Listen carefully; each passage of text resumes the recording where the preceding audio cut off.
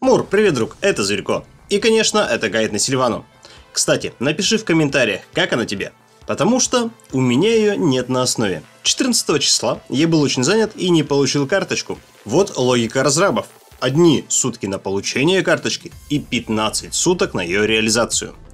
Такую ситуацию отлично обрисовал Женя. Что у нас? Жестокое убийство? Э, Труп опознать удалось? Да, вот паспорт. Так, что? Так. Л- Логика, Олег Викторович. А, Да что ж тебя так? Логика. Кроме того, нет возможности купить хотя бы за алмазы. Господи, труп логики еще и изнасиловали. Какие звери на это способны? Но я найду. Я найду их. А хорошие новости. Я успел записать на тестовом бой. Да, там пинг 120 и не всегда срабатывают навыки. Но общий концепт боевки поймешь. Что по навыкам? Пассивка. У Сильваны два бонуса к основной атаке. Это 100% от физического и 45% магического бонуса от предметов. Навыки Сильваны навешивают метку на врагов, которая стакается до 5 раз. И метки снижают физическую и магическую защиту цели до 30 на 15 уровне Сильваны. Тем самым урон по цели возрастает как у героини, так и у сокомандников. Говорится, что еще урон от навыков Сильваны возрастает на 30% по цели с максимальными метками. За сложные расчеты у меня отвечает Мурка, и она докладывает, что бонус рабочий. Пассивка, конечно, хорошая, но Кормила отбирает защиту тоже, вдобавок прибавляя ее себе. Также защиту забирает Сан, но физическую. В общем, ничего нового тут нет. Дальше все веселее, потому что отлично комбинируются навыки. Первый навык – удар копьем, который, во-первых, оглушает цель, правда только одну, во-вторых, ускоряет бег Сильваны, в-третьих, дает вторую фазу с прыжком. Тут есть пара условий. Чтобы получить ускорение, можно ткнуть навыком в воздух. Это помогает перемещаться быстрее. Но чтобы активировать вторую фазу, нужно навыком попасть хотя бы по крипам. Про прыжок. Он длится до противника или до конечного расстояния. То есть, чтобы перепрыгнуть стену, между стеной и тобой не должно быть врагов. Если играл Аргусом, то быстро поймешь, как работает навык. Если противник стоит за стеной, никаких проблем.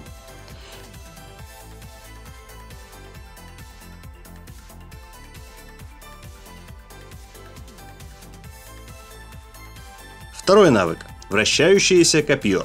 Сильвана, стоя на месте, наносит несколько ударов. Количество ударов зависит от скорости атаки. Генерирует на себя щит. Немного стягивает противника к центру навыка. Хоть это и микроконтроль, но выбежать из него не составляет труда. Кроме того, даже ульт от Детты он не сбивает. В моем билде это основной способ нанесения урона, поскольку мне не понравилась Сильвана в автоатаку. Кроме того, этим навыком в основном набиваются метки на противника. Ульта, а вот красота. Практически мгновенный прыжок с контролем, который удерживает внутри области одну цель и замедляет других. Кроме того, внутри круга Сильвана получает бонусом плюс 100% к скорости автоатаки и 100% магического вампиризма. Этот контроль не позволяет большинству героев выпрыгнуть из круга, только если у них нет очищения. С ним выбегается без проблем.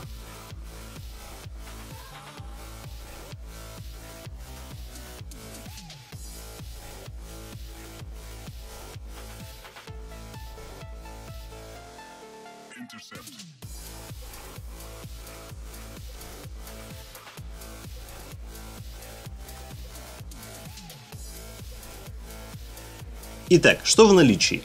Ускорение, два прыжка и два контроля. Очень даже неплохо. Про комбинации расскажу в тактике, а пока перерыв на спонсора. Это, конечно, 1xbet. В этом надежном букмекере быстрые выплаты и большие выигрыши. Киберспорт присутствует среди других спортивных рубрик. А еще при регистрации и первом депозите ты можешь получить бонусом до 6500 рублей по моему промокоду. Ссылка и промокод будут в закрепленном комментарии. Я вижу два профитных направления Сильваны. Это в маг дамагера, если в бою достаточно танков, или как поддержку для внесения максимального контроля. Эмблемы мага для дамагера и эмблемы поддержки, соответственно, для поддержки. У мага берем поджог, а в поддержке – ослабление. Дополнительный навык – это вспышка, очищение, либо исцеление. Я предпочитаю вспышку. Сборка на боевого мага. Магические сапоги. Тут вообще кому что нравится. Я предпочитаю ускорение перезарядки.